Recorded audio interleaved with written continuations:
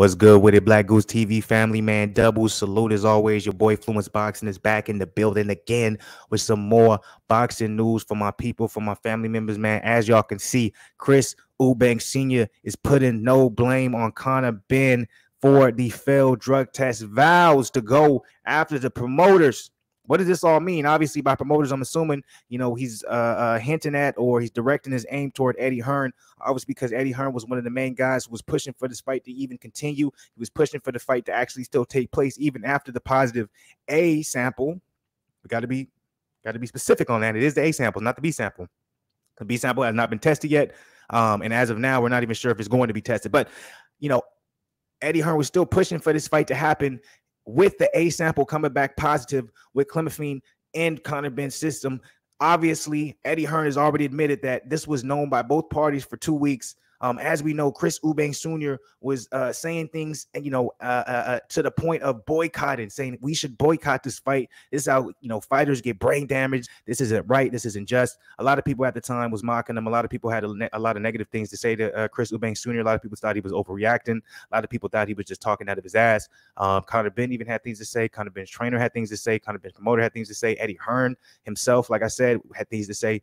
Uh, all negative no one in in in in, in uh, agreement with him, agreement with him. I will say this from when it comes to Chris Eubank's side, his team, he never really acknowledged the things that his father was saying, which tells me that obviously, yes, they did know, they did know for for for over two two and a half weeks apparently about this failed drug test. So um now, as you can see, uh, it looks as if Chris Eubank Sr. was in the right for what he was saying. He wasn't the right for calling for a boycott. He wasn't the right for saying this fight should not go on.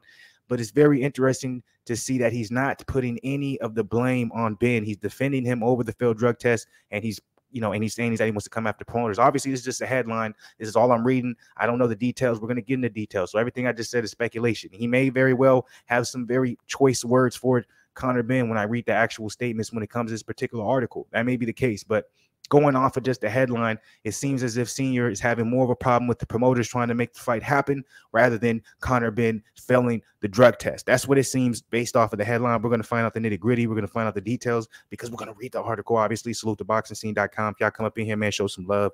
Hit the like button below. Subscribe to the channel. If you're not part of the family, you already know what it is. Road to 5K, baby. We still working. We still trying to get there. I don't care what y'all say, baby. So show some love. Notification gang. Comment on this joint. I need to know what your opinion is. Y'all already know what it is. Let's get it. Okay.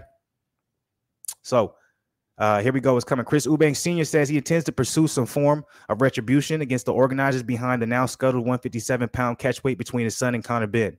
Eubank Jr., the longtime middleweight contender, and Benn, a welterweight, were scheduled to meet last Saturday at the O2 Arena, which was billed as a monumental generational grudge match. But a few days out from the event, it was real, excuse me, revealed by the Daily Mail that Benn had tested positive for a banned substance, clomiphene, a fertility drug.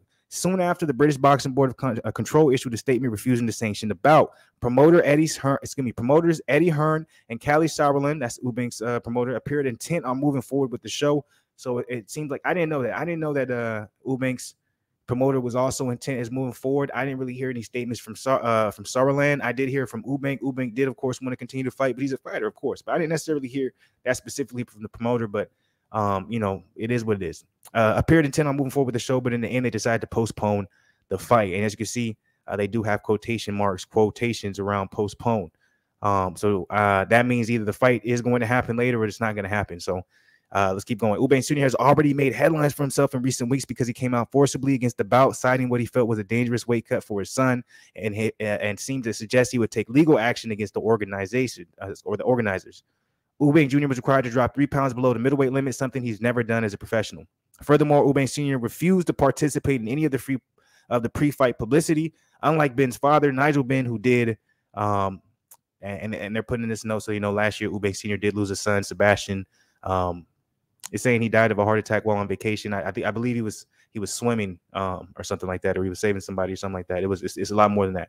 Uh, so you, you guys can look it up. But uh, at the start of the fight week, Eubank Sr. called for a boycott of Eubank Benn, which is within that two fight, uh, uh, or is, is within that two week period where Eddie Hearn said that both parties knew that Conor Benn tested positive for um, that uh, uh, PED. So, ironically, Eubank Sr.'s sentiments have seemingly aged well. In a recent interview, he offered a scathing review of last week's fiasco and also indicated that he was coming for the managers and promoters who tried to greenlight the fight man, I'm telling you, as much as people want to say what they, you know, a lot of people, regardless how they feel about Eubank Senior, you know, what I'm saying, man, I really applaud him, man. I really applaud him, man. He's he's he's stick like from from day one.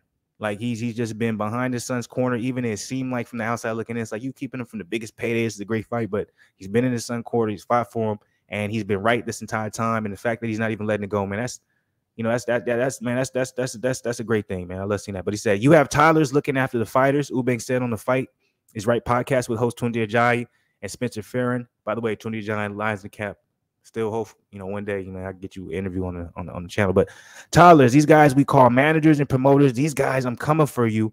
You tried to more uh, excuse me, you tried to murder my boy. I'm coming for you. Yeah.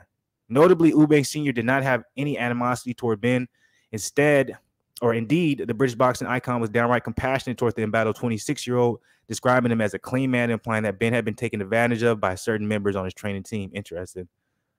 When I look at a fighter, I look at the spirit in the man, Eubank Sr. said. Conor would have had no idea, in my view, of what they would suggest he, excuse me, suggest he should have PEDs. I've seen them do it. I've watched them. These are men who are going to be rooted out of this game because they're not fighters. They're PE physical education teachers. I respect them, but not when they're harming fighters. Because in my view, when I look at Conor Benn, that's a pure young man. I took Nigel. Don't come to these speaking engagements for Eubank Jr. versus Benn. There's going to be too much pressure on them because you let them lead your son into a pit, a snare. That boy is clean, a clean man, and a great fighter. So it seems as if so. Yeah, yeah. So you know, I'm saying the headline was right, and that's why I love boxing scene. You know, uh, .com so much. Usually, you know, and I look, I look, I, I, get a lot of a lot of my news from Boxing News 24 too, but sometimes they be a little extra. Like usually, I can't read an entire article from Boxing News 24 the same way I just did with Boxing uh, Scene. That was very clear, stayed to the point, stayed to the facts. You know, to the that was that was beautiful right there. But it, it, it goes to show Chris Eubank Sr. is going strictly after the promoters, and it seems like he's suggesting allegedly that uh, Conor Benn really didn't know anything was put into the system. Now he's basically telling me, or when I'm getting, I'm trying to read between the lines. There's a possibility that you know some of the people you work with, work for, nutritionists, etc. You know, if your if your team has a different plan behind you, you may not know what's going into your body if you don't have the research or the understanding of what it is, and then you end up finding out that's not something you should be using. Who knows, man? You know, I respect Chris Eubank Sr um, to the fullest. Um, I love everything he said in this particular article. You know, I, I want to watch that interview, so I'm like, I may do a reaction to that interview sometime this week because um, I would love to actually watch that in, in its entirety.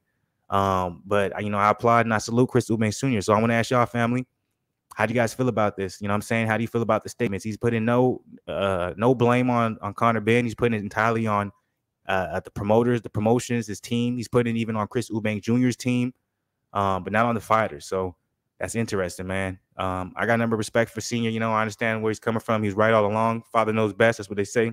So salute to that. Let me know how y'all feel about the video. Let me know y'all opinion, y'all comments, all that good stuff. Drop it below uh, uh, uh, in the comment section while you're doing it. Like the video, subscribe to the channel, show some love. You already know what it is, man. Uh, on the Arnold Schwarzenegger side of the game, man. I'll be back with more boxes. Stay blessed not unstressed. Double salute. Appreciate y'all as always. Uh, and much love, man.